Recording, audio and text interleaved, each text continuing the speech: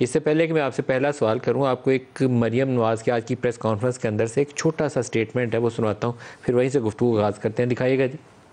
चौकीदार जो है, अगर वो वतन की जो बॉर्डर्स हैं, उनकी हिफाजत छोड़ के वो बनी गाला की हिफाजत करना शुरू कर दे तो फिर चौकीदार ठीक है। बनी गाला में हीरो की हिफाजत करना शुरू कर दें।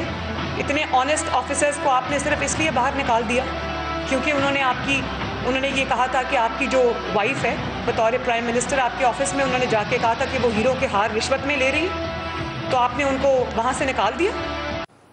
ये वाक़ जिसकी तरफ़ मरीम नवाज़ प्रेस कॉन्फ्रेंस में तस्करा कर रही हैं, ये उस वक्त है जब general Asim Munir D G I S I थे। अभी शायद जो मोस्ट प्रॉबेबल लिस्ट है, उसके अंदर एक या दो लोगों का अगर नाम आता है तो जनरल आसिम मुनीर भी उसमें शामिल है। एज़ प्राइम मिनिस्टर आपने उनके मतलब कभी इंटरेक्ट किया, मौका मिला आपको? आसिम मुनीर साहब जब मैं प्राइम मिनिस्टर था तो मेरा ख्याल है इस वक्त वो डीजी मिलिट्री इंटेलिजेंस थे। अच्छा। तो जो एनएससी की मीटिंग होती है उसमें वो शरीक हुआ करते थे। उसमें अमूमन डीजी मिलिट्री इंटेलिजेंस वहाँ पर होते हैं। वो इंटरेक्शन उसके अलावा इंटरेक्शन नहीं है। और गुड ऑफिसर जी जो डी जी एम आई होता है वो अच्छे ऑफिसर में शुमार होता है। हम्म, क्योंकि मेरे ख्याल में ये हाफज कुरान भी हैं ये काफ़ी इनकी इस मामले में शोहरत अच्छी है। आई डोंट नो मतलब मैं आपसे इसलिए पूछा कि मेरा बीस लेफ्टिनेंट जनरल होते हैं पाकिस्तान आर्मी में हम्म। इस वक्त बीस हैं। तो जो भी वहाँ पहुँचता है अपनी एक सलाहियत रखता है। तो आर्मी का एक सिस्टम अच्छा है कि वहाँ ये नहीं है कि शायद खान अब्बासी की किसी से रिश्तेदारी है या कोई मेरा जानने वाला है तो मैं आपसे कहूँगा कि शायद साहब इसको वहाँ लगा दें। ये हो नहीं सकता ना। नीचे से एक सिस्टम से वो जी एक निज़ाम है। एक निज़ाम है हाँ, उसके साथ ही आप ऊपर तक आते हैं वैसे आप आ ही नहीं सकते ऊपर।